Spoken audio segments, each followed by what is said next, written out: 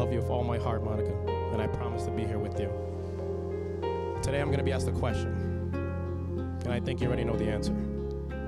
You can ask me today, you can ask me tomorrow, you can ask me in 50 years, or in my deathbed. The answer will always be the same. And I'll wait to tell you that.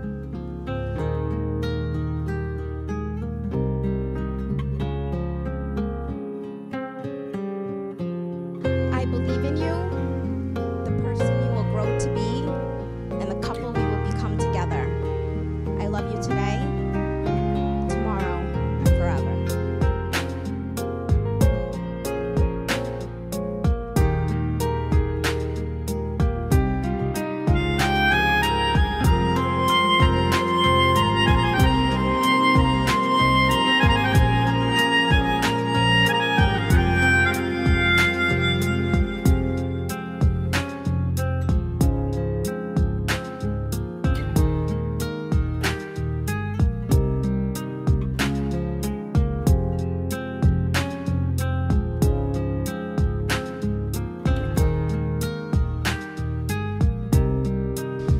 By the authority granted unto me as a minister and missionary of the gospel of Christ in the church of Christ, I now declare to you, friends and family, that this is husband and wife. You may seal your marriage with a kiss.